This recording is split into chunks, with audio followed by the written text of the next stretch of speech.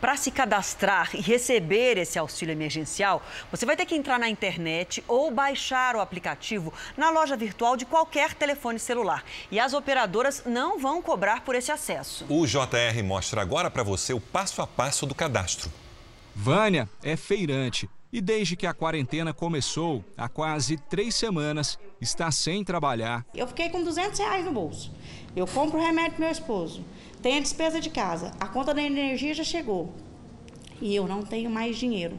A minha dispensa já está vazia. Hoje, assim que foi liberado o sistema, ela foi tentar receber os 600 reais do auxílio emergencial da Caixa Econômica Federal. Mas como não tem muita aptidão com a tecnologia, Vânia teve que pedir ajuda na associação da categoria, que disponibilizou uma pessoa para auxiliar quem tem dúvidas. O sistema é muito fácil. O que vai é a sua habilidade de estar tá mexendo com a internet, de estar tá explicando, porque você tem que ter um pouquinho de paciência. O site está congestionado. São dois canais disponibilizados para preencher o cadastro: o site auxilio.caixa.gov.br e o aplicativo Caixa Auxílio Emergencial. É só baixar o app no celular, clicar no ícone verificar os critérios de quem tem o direito ao benefício e clicar nos dois espaços concordando com os requisitos e continuar. O cadastro começa com o nome completo, CPF, data de nascimento e nome da mãe. O próximo passo é detalhar quantas pessoas moram na casa e a renda da família.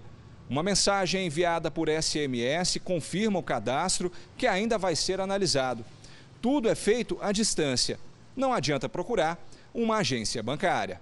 A Caixa alerta ainda que as pessoas precisam ficar atentas aos golpes, principalmente em links enviados por aplicativos de mensagens.